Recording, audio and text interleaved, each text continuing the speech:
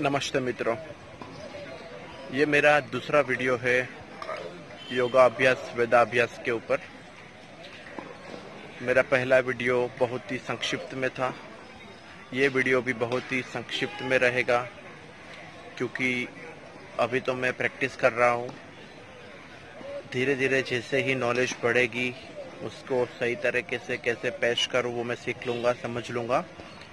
उसके चलते मैं उसके बाद ये सारे वीडियोस में डिटेल्स में बनाऊँगा, वापस एक बार फिर से बनाऊँगा, जिसमें मैं आपको बुक्स का पुराण का वेदा का रेफरेंस भी दूँगा, ताकि आप भी अपने इंटरेस्ट के मुताबिक उसको डिटेल में समझ सके, पढ़ सके, जान सके, लोगों को बता सके। ठीक है? तो आज का मेरा वीडियो जो रहेगा, ये वीडियो रहेगा सामान्य ज्ञान, यानी कि जनरल नॉलेज और वेदाभ्यास के बारे में। अपन सब लोग अमावस्या को जानते हैं, जिसको गुजरात में अमास करके भी जानते हैं, या तो ईस्टर्न कल्चर में, वेस्टर्न कल्चर में उसको नो मून डे भी बोलते हैं, कि जिस दिन कोई मून नहीं निकलेगा।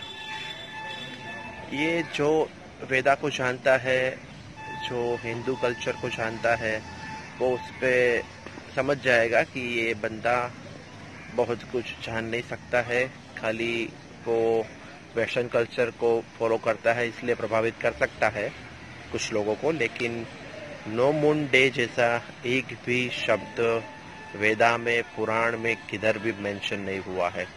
क्योंकि वैदिक परंपराओं को जो जानता था, जो हिंदू जानता था, उस चीज़ को वो भली भांति जानता था कि ऐसा एक भी दिन नहीं है जिस दिन कोई मून नहीं निकलेगा, या तो नया मून रहेगा।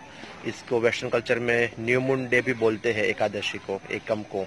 न्यू मून डे बोलते हैं, एकम को सॉरी जिस दिन अमावस्या होती है, उसके बाद का जो दिन रहता है, उसको एकम करके इंडिया में जानते हैं। उसको वेस्टर्न कल्चर में न्यू मून डे बोलते हैं।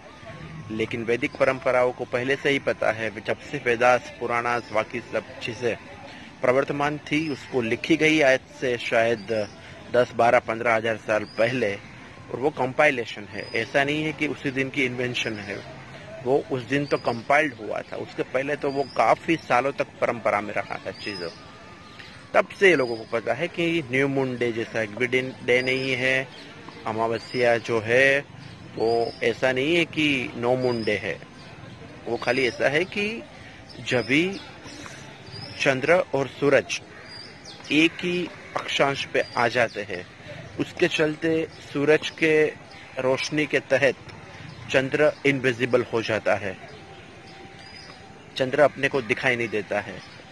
उसके चलते अमावस्या महसूस होती है। इसको बोला गया है अमावस्या। अमावस्या का जो आप संस्कृत वर्ड है, उसको आप दो पार्ट में डिवाइड करेंगे तो एक है अमा और दूसरा है वस्या। वस्या मीन्स टू रिसाइड अमा बोले तो एक ही डायरेक्शन में, एक ही अक्षांश के ऊपर, एक ही लाइन में आप बोल सकते हो। तो ये जब भी अमावस्या का दिन होता है तो सूरज और चंद्र एक ही अक्षांश पे होते हैं, एक ही लाइन पे होते हैं, जिसके चलते चंद्र पृथ्वी से दिखाई नहीं देता है। और उसके बिल्कुल विपरीत, जब भी पृथ्वी बीच में रहती है और एक साइड में चंद्र रहता है, दूसरी साइड में सूरज रहता है और सूरज की पूरी रोशनी चंद्र के ऊपर पड़ती है, जिसके चलते अपन फुल मून डे, जो वेस्टर्न कल्चर में बोला जाता है, अपन उसको पूर्णिमा बोलते हैं, या तो पूनम बोलते हैं, पूनम। तो उसका मीनिंग यही है कि पूरा चंद्र अपने को दिखाई देगा। लेकिन जब भी आप पृथ्वी से पूर्णिमा का दर्शन करते हो तो वो भी चंद्र की एक ही साइड है। जो पृथ्वी लोक से दिखाई देती है। दूसरी साइड जिसके ऊपर रोशनी प्रभाव नहीं कर सकती है, वो अपने को पृथ्वी पर से दिखाई नहीं देती है उस टाइम पे। ठीक है? तो और आप सबको पता भी रहेगा कि चंद्र की खुद की रोशनी नहीं है, सूरज की जो रोशनी उसके ऊपर गिरती है, उसके चलते यहाँ से पृथ्वी लोक से अपने को एकम, बीज, त्रीज जो बोलते हैं, उसका दर्शन होता है। पूनम का दर्शन होता है, जब भी रोशनी नहीं गिरती है, एक ही लाइन में रहता है डायरेक्शन में, और एक ही अंशांश के ऊपर रहते हैं तो सूरज की रोशनी में चंद्र की रोशनी, चंद्र ढक जाता है, जिसको अमावस्या कहते हैं। ठीक है? तो ये वेस्टर्न कल्चर तो कब से बोलता आ रहा था कि ये न्यू मून डे है, ये नो मून डे है? तो ऐसा कोई वैदिक परंपरा में ऐसा कभी नहीं है। वैदिक परंपरा को जानने वाला पहले से जानता था कि चंद्र एक ही है। पृथ्वी लोक से जो दिखाई देता है, वो चंद्र एक ही है। उसमें कोई बदलाव नहीं आता है। खाली रोशनी के प्रकोप या रोशनी जो पड़ती है, उसके चलते उसमें बदलाव दिखाई देता है, बदलाव महसूस होता है। बाकी चंद्र एक ही है, पृथ्वी लोक से दिखाई देने वाला। ये वैदिक परंपरा वाले लोग भली भांति जानते हैं। तो ये एक चीज़ हो गई। दूसरी चीज़ हो गई, जब भी पहले के टाइम पे वेस्टर्न कल्चर, माने कि अंग्रेज़ लोग, वो इतने गहरे प्रभाव में नहीं थे, इतने रिसर्च भी नहीं हुआ था वहाँ पे कि ये सब सारी जो एस्ट्रोनॉमी है, जो शास्त्र है, उसको वो लोग जान सके या उसको नोटिफाई कर सके या रिसर्च कर सके। तभी अभी इंग्लैंड और इंडिया के बीच में साढ़े पाँच घंटे का फ़र्क है। ठीक है? तो उसके चलते जब भी इंडिया में साढ़े पाँच, पौने छह का टाइम होता है, सूर्योदय का टाइम तभी वहाँ पे बारह बजता है। और वो लोग ने इंडियन कल्चर को ऑब्ज़र्व करते करते अपनी घड़ी बारह बजे सेट कर दी कि जब भी इंडिया में सूर्योदय होएगा, हम लोग इस, यहाँ पे नया दिन मनाएँगे। क्योंकि पृथ्वी पर जो सबसे आगे वाली परंपरा थी, वो हिंदू कल्चर था, बहुत ही एडवांस सिविलाइजेशन था ये। ठीक है तो उसके चलते वो लोग ने ब्लाइंडली फॉलो किया और करना भी चाहिए। अपन भी काफ़ी सारी चीज़ें वहाँ से वेस्टर्न कल्चर से अडोप्ट करते हैं और फॉलो भी करते हैं जो अच्छी चीज़ें हैं। वैसे ही वो लोग ने 12 बजे डे बदलने का चालू कर दिया। लेकिन उसके बाद वो लोग ने इंडिया पे इन्वेट किया इंडिया पे आक्रमण कर दिया 200, 250, 500 साल के बाद।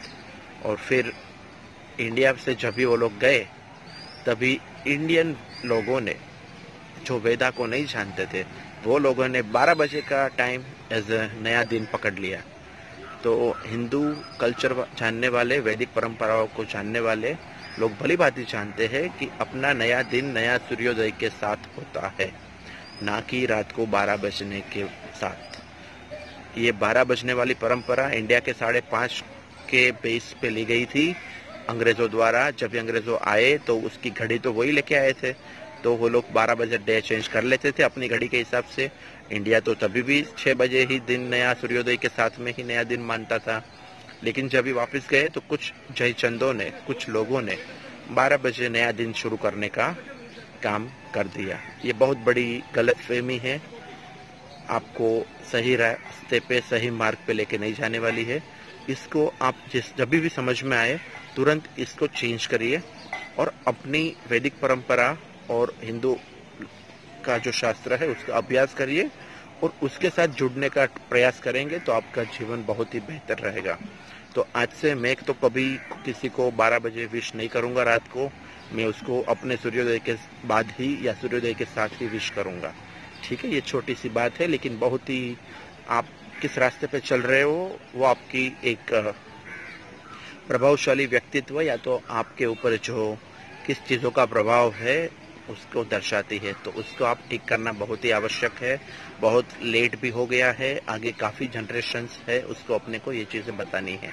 तो इस पे आप गौर करिएगा, ठीक है? दूसरी एक सामान्य बात है, वो बहुत ही सामान्य बात है, लेकिन बहुत ही मायने रखती है। जैसे आज है थर्ड नवंबर मैं आपको बोलूँगा आज थर्ड नवंबर है तो आपको समझ में नहीं आएगा कि मून की स्थिति क्या रहेगी। भले मंथ जो वर्ड है, वो मून की जो गतिविधियों है, उसके ऊपर डिसाइड हुआ है, उसका अभ्रंश वर्ड है मंथ जो मून के हिसाब से चलता है, जिसको मंथ कहा जाता है। ठीक है? और इंडियन कल्चर या तो वैदिक कल्चर जो है, वो भी चंद्र की गतिविधियों के ऊपर ही महीना दर्शाता है, जिसमें ऋतु का काल भी आ जाता है ठीक है ऋतु चक्र भी आ जाता है। सब चीज़ों को ध्यान में रखते हुए वैदिक कल्चर का जो नया साल है, या तो ऋतु चक्र है, या फिर गतिविधियों मंथ के अंदर रखी गई है। तो थर्ड नवंबर से आपको पता नहीं चलेगा मून की स्थिति क्या रहेगी, लेकिन अगर कोई वेदा को जानता है, वैदिक परंपराओं को जानता है, उसको बोलेंगे कि आज तीज है, आज शुक्ल पक्ष की तीज है तो उसको समझ में आएगा कि अभी चरण चंद्र की आज तीसरी कला खिलने वाली है, ठीक है? और वैसे ये शुक्ल पक्ष है तो ये चीज़ क्रम बढ़ता जाएगा। कल चौथ रहेगी तो चौथी कला खिलेगी, फिर पंचमी रहेगी तो पांचवी कला खिलेगी, सप्तमी रहेगी तो सातवीं कला खिलेगी। वैसे ही जब भी पूर्णिमा आएगी तो पूर्ण चंद्र खिला हुआ महसूस करेंगे। और अगर कृष्ण पक्ष की समझ आज तीज है तो आप समझ जाएँगे कि अभी ये घटने वाली है। आज तेज है तो कल बीज रहेगी, उसके बाद एकम रहेगा और फिर अमावस्या आएगी। ये वैदिक परंपरा वाला है, लेकिन थर्ड नवंबर से आपको पता नहीं चलेगा कि मून की परिस्थिति क्या है। तो भले उसका नाम नवंबर का महीना है, उसको मंथ कहा जाता है मून की गतिविधियों के साथ चलता है वो, लेकिन डेट जो उसकी है वो अलाइनमेंट में नहीं है। अलाइनमेंट एक बहुत ही अच्छा शब्द है, आप सब लोग उसको समझते रहेंगे। तो ये दोनों चीज़ अलाइंड नहीं है, लेकिन यही चीज़ अडोप्ट करते आए हैं अपन। बर्थडे कभी है तो अपन वही बोलते हैं थर्ड नवंबर को फिफ्थ नवंबर को टेंथ नवंबर को। लेकिन ये चीज़ कभी नहीं बोलेंगे अपन कि आज शुक्ल पक्ष की तीज है तो तीज को मेरा बर्थडे है। तो सारा चीज़ अलाइनमेंट में है वैदिक कल्चर के अंदर। तो ये सब चीज़ें आपको जाननी बहुत ही ज़रूरी है। जब भी अपने को पता चलता है, वैदिक लोगों को, शास्त्रों को जानता है, उसको पता चलता है कि आज सप्तमी है, तभी उसका जो अगर फिशरमैन बहुत ही इलिटरेट जिसको अपन मानते हैं, वो फिशरमैन भी जानता है कि मेरे को सात दिन के अंदर वापस आ जाना चाहिए, क्योंकि अगर अमावस्या रहेगी तो ओट आएगी और पूर्णिमा रहेगा तो भर्ती आ सकती है, जवार बाटा जिसको बोलते हैं। ठीक है तो ये वेव्स आ सकते हैं जो काफ़ी असंतुलित पैदा करता है पृथ्वी के ऊपर, क्योंकि पृथ्वी का गुरुत्वाकर्षण और चंद्र का गुरुत्वाकर्षण एकदम नज़दीक में रहता है। उसके चलते ये सब गतिविधियाँ होती है। इसीलिए तो अमावस्या और पूर्णिमा के दिन हिंदू कल्चर वाले, वैदिक परंपरा को जानने वाले फास्टिंग्स रखते हैं, क्योंकि अपना शरीर भी ये पंच तत्व से बना हुआ है। इसमें भी असंतुलित पैदा होने की बहुत ही ये रिस्की अफेयर रहती है और ये सब चीज़ों को अवॉइड करने के लिए ही अपन फास्टिंग ऑब्ज़र्व करते हैं। ठीक है? तो ये फिशरमैन भी छोटा सा जानता है कि आज सप्तमी है तो क्या करना है, आज एकम है तो क्या करना है, कल द्वितीय है तो क्या करना है, परसों तीज है तो क्या करना है। ये सब चीज़ें हम लोग को बताई नहीं जानी पड़ती। हमको सिर्फ़ अपना वेदा अभ्यास करना चाहिए। वेदों में रुचि रखकर उसका गहन तरीके से अभ्यास करेंगे। तो ये सारी चीज़ें खुलकर, उभर कर आपके सामने आएगी। आपको गले लगाने आएगी, ठीक है? ये सब चीज़ें अपने जीवन में उतारेंगे तो निश्चित तौर पे अपन सही मार्ग पे चले, उसकी अपने को बहुत लंबे अरसे के बाद एक नाराज़गी नहीं रहेगी। मुझे बहुत ही अफसोस हो रहा है कि मैं इतने साल, तीस साल तक मैं रात को बारह बजे बर्थडे सेलिब्रेट करता रहा। क्या तीस साल बहुत ही छोटी टाइम है? छोटा टाइम है? कितने टाइम से अंधेरे में रहेंगे? ठीक है? प्रकाश को गले लगाइए, वेदाभ्यास को गले लगाइए, वेदा को जानिए, ठीक है? इसके रिलेटेड कुछ भी आपको क्वेश्चन है या कुछ भी सुझाव है तो डेफिनेटली मुझे शेयर करिए कमेंट बॉक्स में लिखिए, और ये वीडियो ज़्यादा से ज़्यादा लोगों में शेयर करिए, ठीक है? थैंक यू जय हिंद, जय भारत, वंदे मातरम, जय वेदाभ्यास. Thank you